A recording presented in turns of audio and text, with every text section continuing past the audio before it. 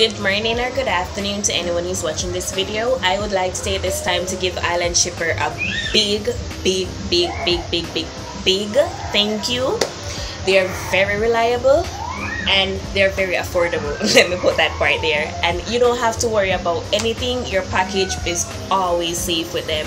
You get it way before the time you're expecting. So, for example, if Shein told you you're gonna get it that time, you get it before because once the package reach them, they just ship it over to you, and they give you an update on everything when they receive the package, when the package is shipping to Jamaica, if the package is at when it reached to Jamaica, when it's at custom, when it's time for delivery, you get every update. You don't have to worry about nothing. You can even track your package on their website. I love them.